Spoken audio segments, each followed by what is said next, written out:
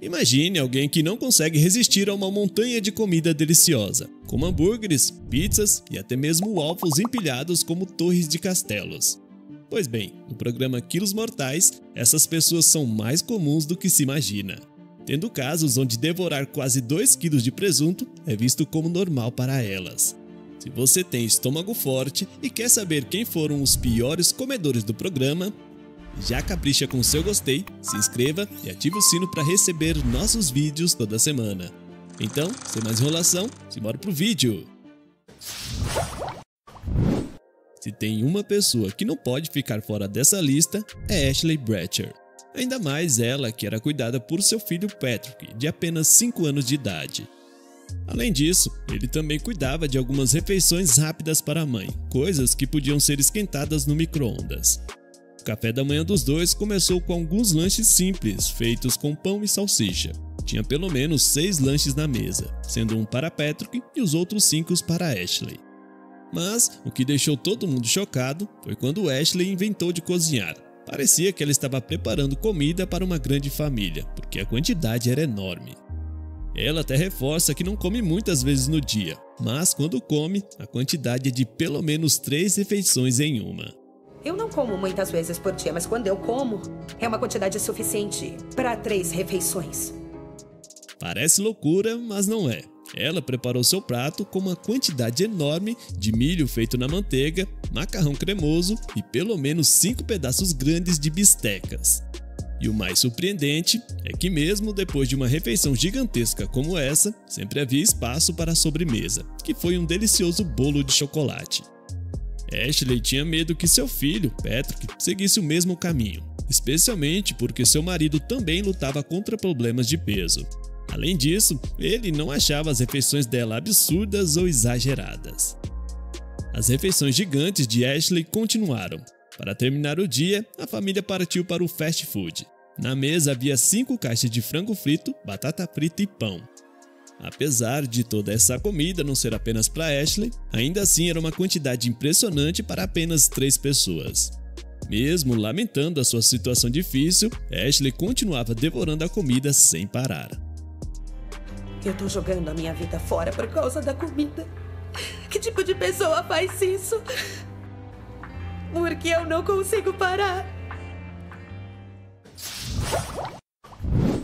Outro participante de Quilos Mortais que tinha um apetite fora de controle foi Aaron Washer, da sétima temporada. O cara chegou a comparar seu amor pela comida com vícios em coisas ainda mais pesadas. A comida virou um vício para mim.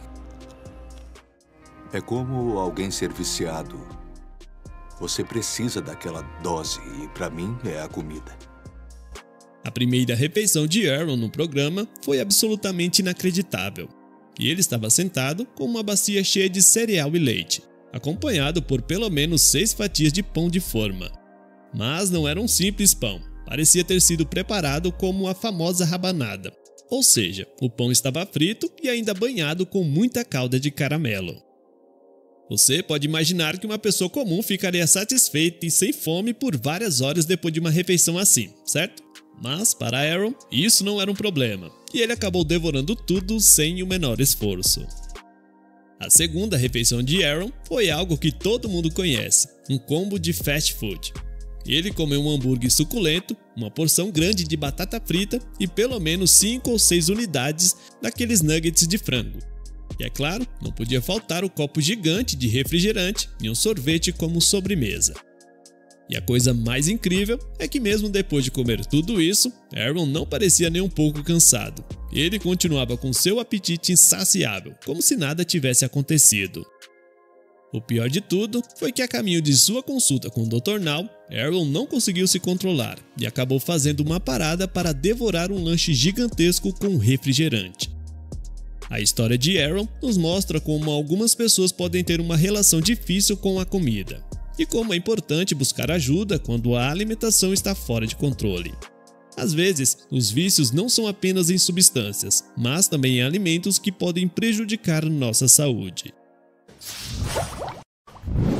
Outra paciente que não fazia cerimônias quando o assunto era comer muito foi Joyce Delviscovo. A mulher recebeu uma surpresa incrível, ou melhor, assustadora logo de manhã. Ela já começa abrindo quatro caixas de isopor repletas de comida, e cada uma delas parecia ainda mais tentadora que a outra. Nessas caixas haviam várias fatias de bacon, um omelete gigante com um pedaço de batata frita em cubos e algumas fatias de pão com manteiga. Parecia um sonho para quem adora comer, mas, na realidade, era um pesadelo para a saúde de Joyce. No entanto, a segunda refeição de Joyce no programa não foi tão ruim assim. Pelo menos não era aquela porcaria de junk food que ela tinha recebido de manhã. Suas facilitadoras até tentaram dar alguns conselhos sobre os hábitos alimentares dela, mas parece que não adiantou muito. Dessa vez, ela recebeu dois pratos. No primeiro havia duas generosas fatias de lasanha, e no outro, pelo menos cinco almôndegas fritas e três enormes pedaços de pão com manteiga. A quantidade de comida que Joyce estava devorando era claramente absurda quando comparada com o que as outras pessoas estavam comendo. Não era à toa que a mobilidade de Joyce estava seriamente comprometida quando decidiu procurar a ajuda do Dr. Now. A situação era tão complicada que ela precisou ser levada de ambulância e contou com a assistência dos profissionais de saúde para conseguir entrar no veículo. Depois de acordar e tomar seu banho logo cedo, Patrick Macon disse que só conseguia pensar no que iria comer no café da manhã. Com um peso de quase 300 quilos, é de se imaginar que Patrick não seria muito fã de comidas saudáveis, né? E foi exatamente isso que ele mostrou em sua primeira e exagerada refeição. Ele recebeu um prato enorme, repleto de delícias tentadoras. E quando eu digo enorme, quero dizer enorme mesmo. Imagine não apenas um, nem dois, mas dez daqueles famosos waffles, empilhados formando uma verdadeira torre de prazer. Para deixar essa refeição ainda mais calórica, havia uma porção generosa de bolinhas de batata frita ao lado, sem esquecer, é claro, de seis hambúrgueres de carne. Mas espera aí que tem mais. Ao lado de todas essas guloseimas, tinha uma garrafa com calda de caramelo e um pote cheio de molho, e para acompanhar essa refeição absurda, um copo enorme de suco. Depois dessa comilança, o paciente simplesmente ajustou sua poltrona e acabou tirando o cochilo. Um certo momento depois, Patrick foi visto na cozinha esperando mais comida. Ele começa devorando pelo menos 10 salsichas empanadas e outra porção gigante de bolinhas de batata frita. E mesmo dizendo que se não perdesse peso, em um ano ou dois ele poderia morrer, Patrick não parava de comer. Eu tenho várias metas. Eu quero ver a minha filha se formar, ter uma casa e se eu não emagrecer, eu acho que em um ou dois anos essa gordura toda vai me matar. Na 11 temporada, conhecemos a história de Stephanie Smith, que começou sua jornada com mais de 270 quilos. Porém, o que surpreendeu foi o que ela fez logo de manhã. Ela estava sentada à mesa e recebia a comida de seus facilitadores, e a quantidade que ela tinha na frente era simplesmente inacreditável.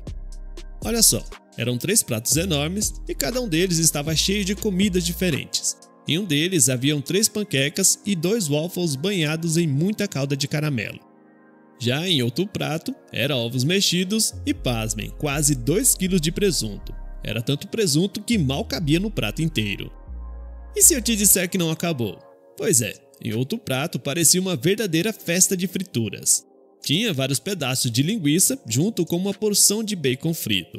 É comida demais, né? Eu vivo pensando em comida. O sabor é uma delícia e comida me deixa muito feliz. E a gente viu por que Stephanie está nessa lista de piores comedores. Ainda mais depois que ela simplesmente não economizou nas compras quando foi ao mercado. Em seu carrinho não havia nada além de comida. Tinha bolos, salgadinhos, carnes, biscoitos, presunto e muito mais. E claro, como muitos pacientes do programa, pizza era uma das paixões de Stephanie. Ela não comeu uma pizza inteira, mas pegou a metade dela e acabou devorando com um refrigerante. E adivinhem o que veio de sobremesa depois de tudo isso? Um bolo de chocolate recheado que estava em um pote. E acreditem ou não, mas Stephanie ainda encontrou espaço para devorar todo o bolo antes de dormir. Apesar da paciente enfrentar uma longa viagem até Houston, a grande questão era se ela seria capaz de manter uma alimentação saudável em sua viagem. Porém, em sua primeira parada, Stephanie já mandou ver em um hambúrguer completo, um sanduíche de frango grelhado, batatas fritas e três rolinhos de ovos. Parece que o hábito de comer alimentos não saudáveis ainda estava forte na mente dela. Você não vai acreditar na quantidade absurda de comida que Travis mandou para dentro em seu episódio. E ele tinha um problema sério com a comida. E você vai entender o porquê ele é considerado um dos piores comedores do programa. Logo no início, a esposa de Travis, mesmo sabendo que ele precisava de ajuda, continuava dando porções gigantes de comida para ele. Ela parecia não perceber o quanto isso era prejudicial. Um dia, Travis estava sentado na sala de casa e recebeu um prato que parecia uma montanha de comida. Nele havia omelete, pedaço de rolinho de carne, bacon e até três panquecas cobertas com calda de caramelo. E não para por aí. Também tinha uma tigela com um mingau especial e um enorme copo de suco. Era muita comida para uma pessoa só. Mas as coisas pioraram ainda mais quando Travis fez um novo pedido de comida. Ele comprou duas caixas de pizzas grandes, cada um com pelo menos 8 pedaços, ou seja, 16 pedaços de pizzas. Além disso, veio uma porção com 7 pedaços de frango frito e uma caixa com 8 fatias de torta doce. Parecia que Travis tinha feito esse pedido para um exército, mas na verdade era só ele em casa. Um pouco mais tarde, Travis fez sua terceira refeição maluca. Dessa vez recebeu uma tigela gigante com carne moída e macarrão, além de um prato com três fatias de pão. Ele encheu sua refeição de molho e queijo ralado e devorou tudo. E como se não bastasse, ainda teve espaço para uma sobremesa, um pedaço de bolo recheado. Finalmente, quando Travis decidiu procurar ajuda do Dr. Now, aproveitou para devorar seu último junk food, antes de iniciar uma nova dieta. Sua esposa lhe trouxe o fast food acompanhado de um copo de refrigerante. Mas e aí? Quem você acha que foi o pior comedor do programa? Me diz aqui embaixo. Se você gostou desse conteúdo e chegou até aqui, deixe um eu fiquei que depois eu vou lá no seu comentário te agradecer, fechou? Olha só, se você ainda tiver estômago, aqui do lado eu vou deixar mais dois vídeos dessa série de piores comedores para você. Vai lá e confira.